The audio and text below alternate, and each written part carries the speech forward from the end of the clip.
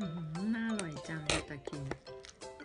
เชอตาวันนี้แม่ไปรับเชอตาที่โรงเรียนแล้วครูเล่าให้ฟังว่าเชอตากอดสักกิจังจริงเหรอครับทำไมถึงกอดสักกิจังอะลูก เพราะอะไรเออแคทอยากอะไรนะแคทอยากแคสโอ้แคสเหมือนแคสลูกบอลอย่างเงี้ยเหรอครับโอ้อยากแคสแต่ สักกิจังเขาเขาเขาไม่ใช่ลูกบอลนะลูกเขาเป็นคนนะคะตกตกลงเธอแต่ชอบ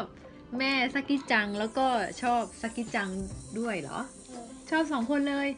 โอ้โหควบสองเลยเหรอลูกเออชอบทั้งแม่ทั้งลูกเลยเหรอครับเออโอ้โหแล้วพอไปกอดสักกิจังเขาทำไงอะลูกตอนที่เธอจะกอดสักกิจังอะเดินไม่ได้ เดินไม่ได้สักกิจังเขายืนอยู่เหรออ๋อเหรอ ยืนอยู่แล้วเธอก็ไปอย่างนี้เลยใช่ไหมข้างหลังอย่างนี้เลยเหรอไปเออโอบกอดเขาข้างหลังอย่างนี้เลยเหรอเออกึ๊ดกึ๊ดตัวอย่างนี้เลยเนี่ยโอ้โหตายแล้วลูกฉันจืดโจมเลย เออชอบมากเลยใช่ไหมทนไม่ไม่ได้อยากอยากกอดเลยอย่างนี้ใช่ไหมเออโอเคจ้า